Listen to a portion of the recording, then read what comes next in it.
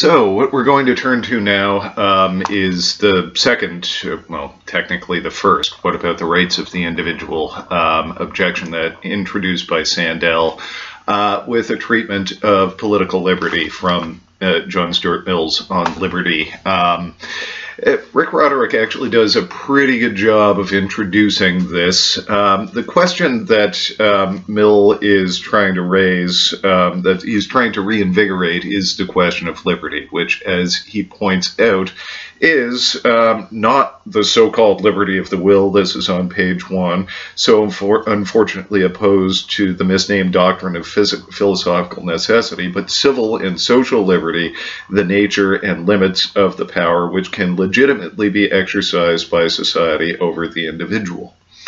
He points out that traditionally this question arose in order to place limits on sovereign power. That is, the limits of a potential tyrant, right?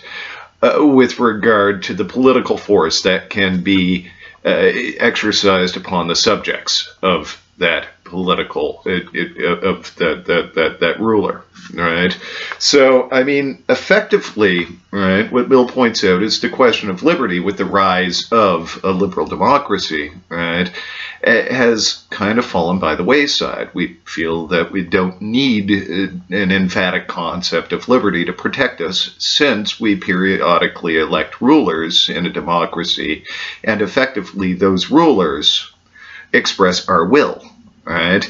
These rulers, right, are thought to be just extensions of ourselves, right? But Mill wants to point out that the people that exercise the power are not precisely in all cases the people upon whom the power is exercised, right? And, you know, really what the, the, the, the, the democracy as as it's related to calculating the greatest good for the greatest number right tends to become is right an expression of the power of the largest part of society, or at least those who make themselves believed and understood to be the largest part of the society, either the majority or those who are loud enough to have themselves taken to be the majority. So, I mean, effectively, what Mill wants to do in this very short section of On Liberty that we're taking a look at is um, establish, right? Um, the question of liberty as something that is still a hot topic and has something to say, especially with regard to utilitarian morality here. Right? He says on the bottom of page four, protection, therefore, against the tyranny of the magistrate is not enough.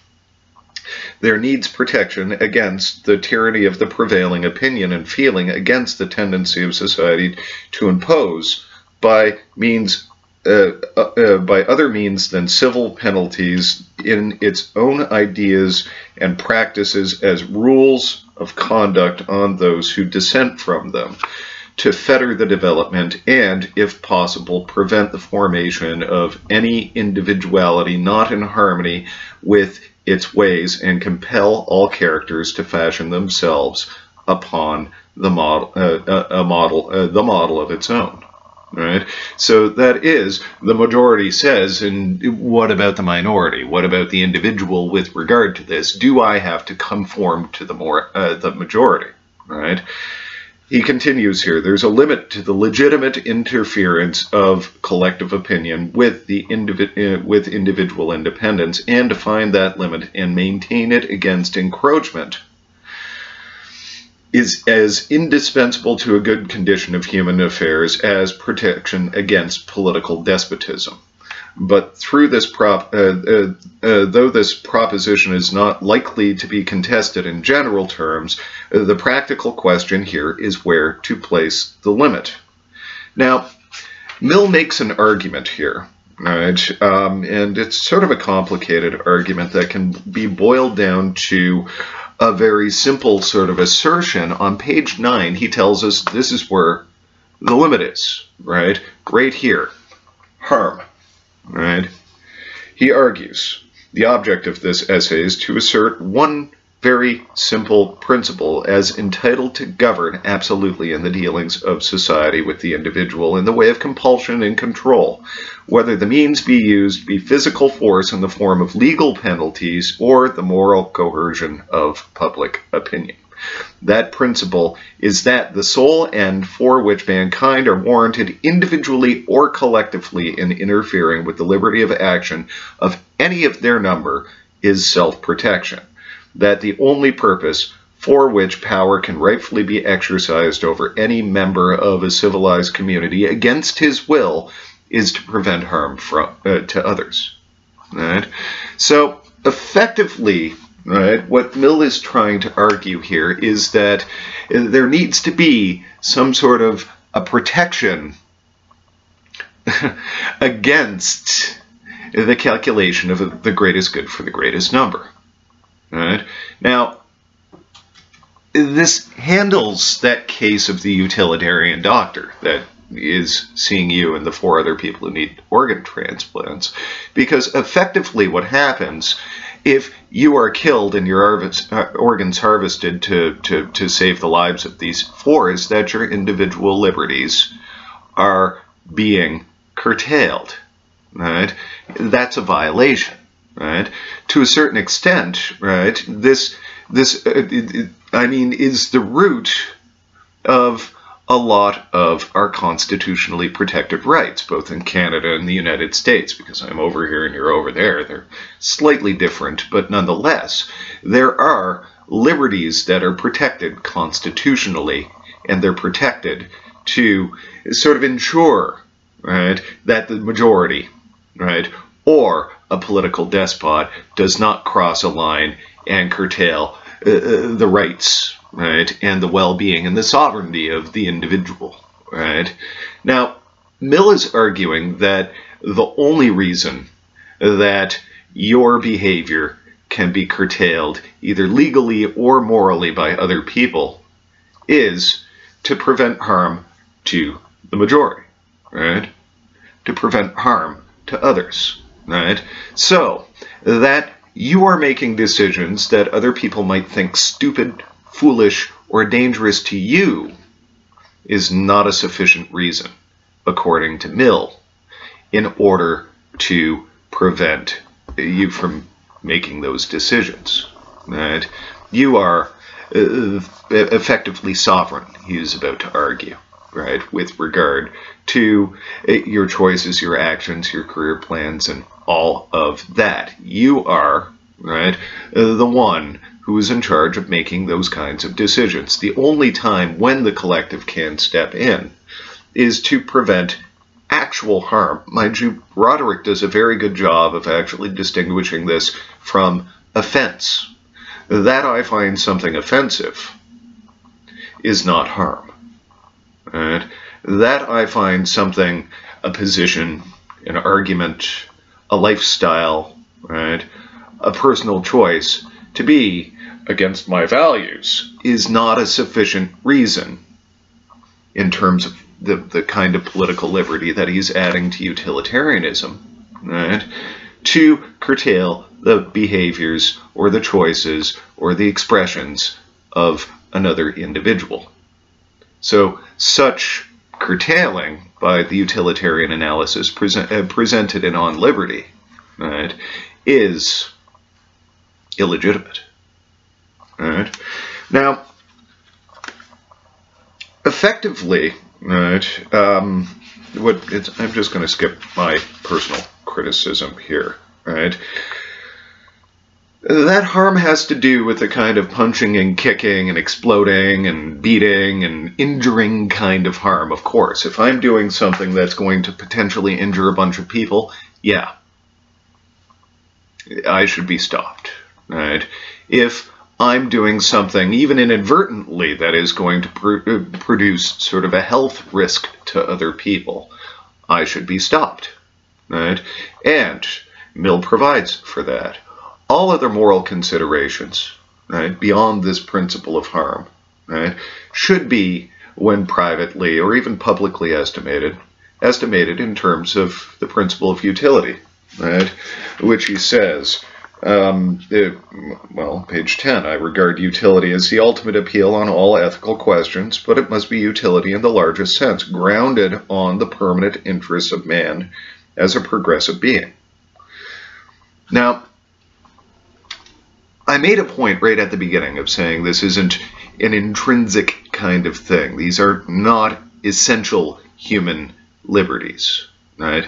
These are political liberties, right? He tells us that these are uh, civil or social liberties, right? The nature and limits that, you know, so effectively these liberties should be applied in the context of a political arrangement. So that's the scope of the argument that Mill is making in On Liberty. These are not, eh, you have this liberty insofar as you're a human being. These are liberties provided within a political system and not essential human liberties. And so we still have the Kantian problem. Right, that it, it, that that utilitarian disputes the fact that human beings are ends in themselves. Right? There's nothing that says this here. These are political liberties that Mill is talking about. And effectively, the kind of argument that he's making, and you can see this if you on your own decide to read the section Liberty of Thought Discussion, right? The kind of argument that he's making here is a utilitarian argument, right? Uh, for um, these kinds of liberties, right? Let me just sort of illustrate here, right? In addition to the kind of obvious sorts of harm, right? The punching, kicking, shooting, stabbing kind of harm kind of thing. If you're going around stabby like, right, you should be stopped. If you're going around polluty like in a way that's going to endanger the health or well being of a lot of people or even one other person, you should be stopped right? If you're poisoning, if you're a, racketeer who's breaking kneecaps or something along those lines, these things are straight out and, you know, very legitimately the collective can step in to stop that kind of behavior, right? But in addition to these kinds of obvious sorts of physical harm, what Mill wants to do, what Mill does here, is introduce three human liberties that are politically viable and actually have to do with the expression of political freedom. Right? So they are. All right.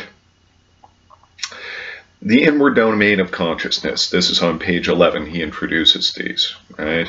Demanding liberty of conscience in uh, uh, in in the most comprehensive sense. Liberty of thought and feeling, absolute freedom of opinion and sentiment on all subjects practical, speculative, scientific, moral, or theological. The liberty of expressing and publishing these opinions may seem to fall under a different principle, but since it belongs to that part of the conduct of the individual which concerns other people, but, uh, but being almost of as much importance as the liberty of thought itself, and resting in a great part in the same reasons, is practically inseparable for it. He goes on to make a utilitarian argument for this one, but just first of all, if you've ever heard of the Flat Earth Society, effectively Mill argues that, you know, if I want to become a card carrying member of the Flat Earth Society, people that believe that the Earth is actually flat and all of uh, uh the the sort of photographs from orbit, the globes that are in your high uh, your grade school classrooms, uh, they're propaganda. Right? I'm free to believe that. Right? I'm free to argue that and that sort of thing. What Mill's relying on here is that, well, first off, it's a Socratic insight. We're not infallible. We do not know in an absolute sense what the truth is. Right? And what's more, even if we know that the flat earthers are completely wrong, right, we still actually develop our position in a more robust and lively sense by arguing against it. Right? What frequently seems to be the case is that the round earthers versus the flat earthers, neither of them are absolutely correct, but in the sort of dialectical tension between flat earth and round earth, what we wind up with is a more accurate representation right, between these two positions supplies sort of a mis- uh, the friction between these two positions supplies a missing part of the position. And in reality, the, the, most of the science actually suggests that the Earth is neither flat nor is it round. It's more like an egg shape, right?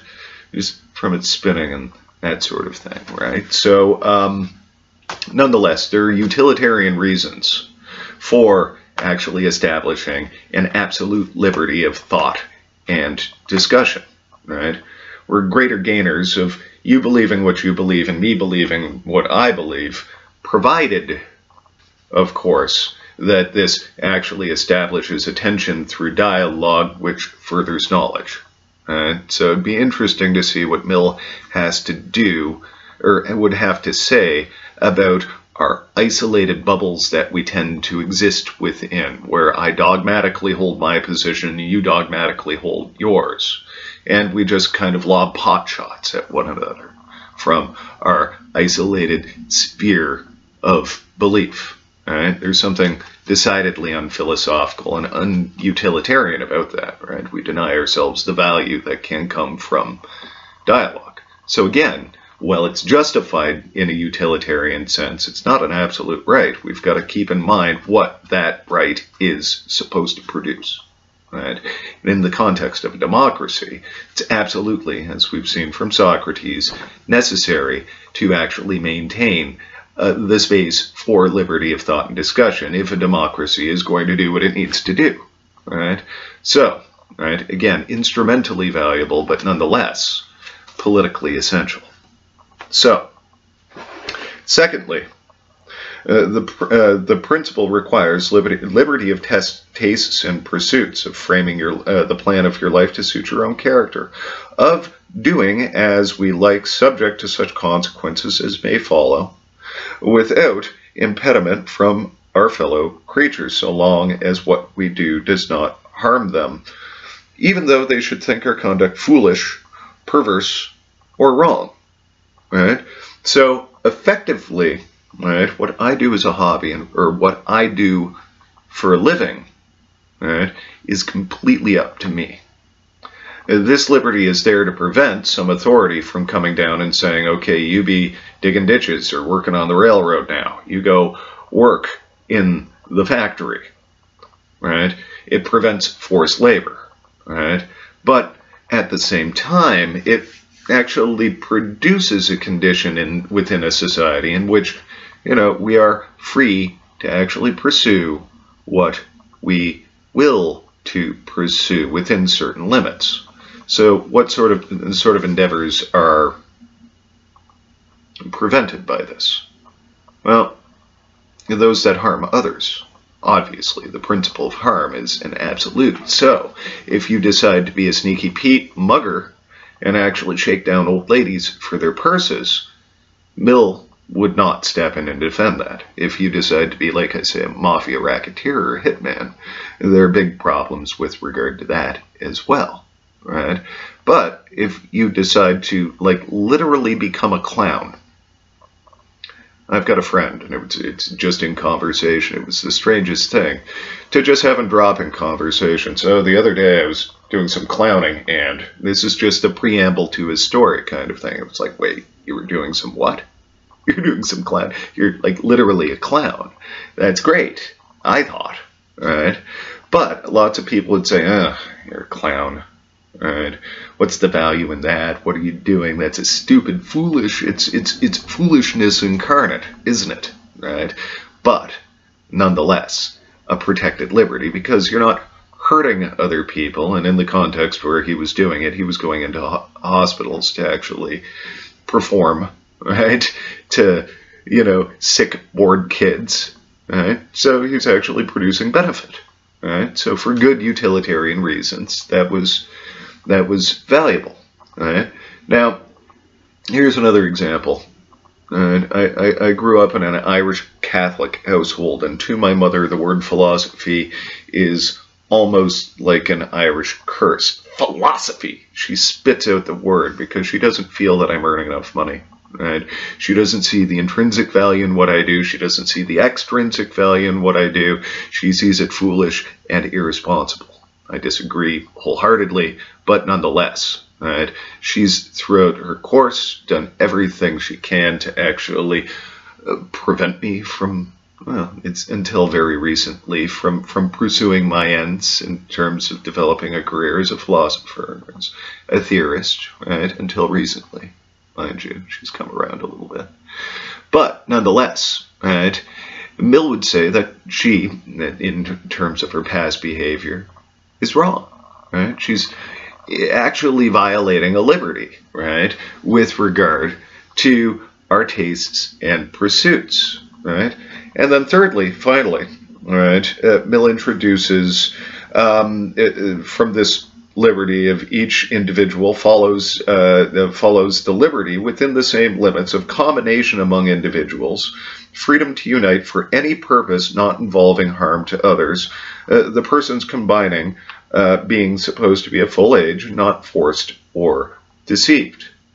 Right? So the liberty of com combination among individuals. This involves the ability to meet somebody and go for a drink, the free freedom to associate with whoever you like, the freedom to stage a small peaceful protest or a big peaceful protest. Right? Now, Mill would have very interesting things to say about the anti-protest laws that are coming down the books in both Canada and the United States right now, because those laws would seem to violate right? This third of the essential human liberties. Now, what I want to point out to you about these liberties is that in addition to the obvious kinds of harm, right, preventing people, silencing dissenting opinions, right, for example, in Canada, we had that big thing where our scientists were muzzled, right, is actually a violation of an essential human liberty. Uh, enforcing people's choice of tastes and pursuits in terms of career options or lifestyles, right? Electroshock therapy to make people not gay, for example, would violate the second liberty, right?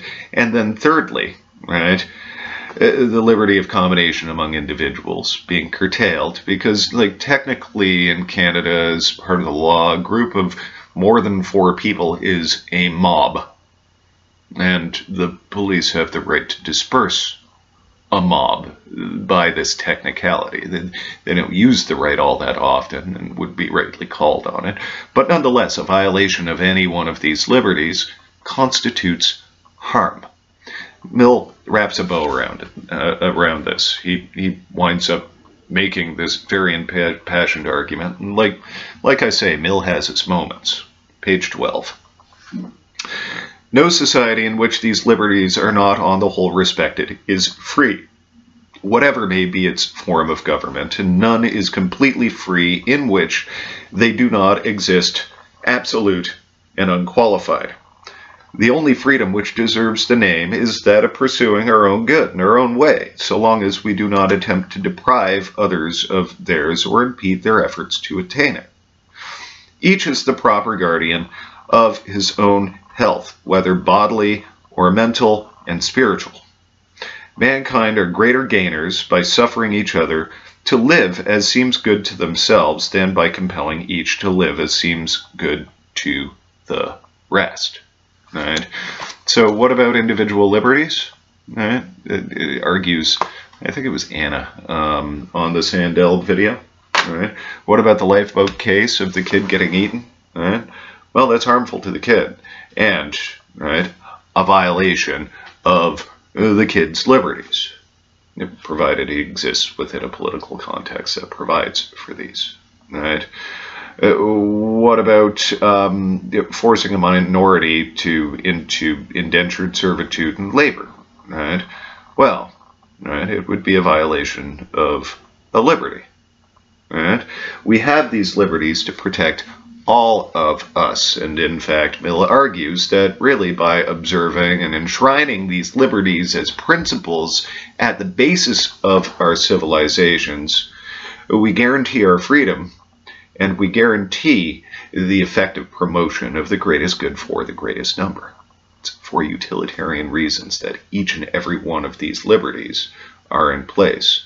So, to a certain extent, according to Mill, the principle of utility provides. All right, Well, that was Mill. Um, I hope this was useful. Have good days, one for each of you.